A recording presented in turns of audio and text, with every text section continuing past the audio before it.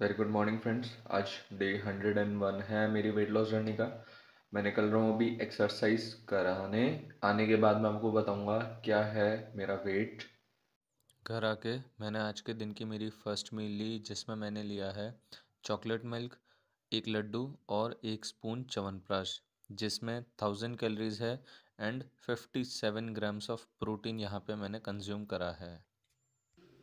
Breakfast हो चुका है और मैं निकल रहा हूँ अभी कॉलेज। क्लासेस वगैरह लेने शाम को बताता हूँ क्या मेरा वेट है आज। कॉलेज में आज मैंने सबवे से खाने के लिए पनीर की दो चीज़ें मंगा ली थी और उसके साथ में दही लिया है, जिसमें अप्रॉक्सीमेटली फिफ्टीन हंड्रेड कैलोरीज मैंने कंज्यूम करी है, जिसमें लगभग फिफ्टी के आसपास ग्राम्स ऑफ़ प्रोटीन है। शाम को एक ज़रूरी काम के चक्कर में आज एक्सरसाइज नहीं कर पाया और जहाँ पे काम था, वहाँ पे चाय और बिस्किट हो गया। इसमें मैंने लगभग hundred to hundred and fifty calories के आसपास कंज्यूम करा है।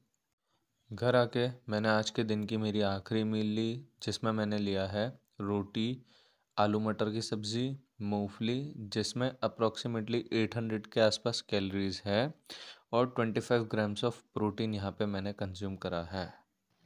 स्टेप्स वगैरह हो चुके हैं। आज मेरा वेट 82.50 केजीज था। नेक्स्ट वीक इसी डे बताऊँगा क्या है मेरा वेट। कोशिश रहेगी 81 से 82 केजीज के बीच में आए मेरा वेट। वो नेक्स्ट वीक दिख जाएगा। आज के लिए इतना ही। कल मिलते हैं। Good night.